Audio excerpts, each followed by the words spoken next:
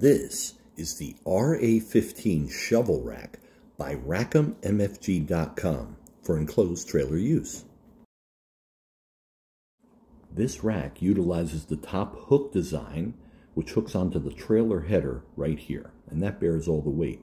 It's also pre-drilled for easy installation.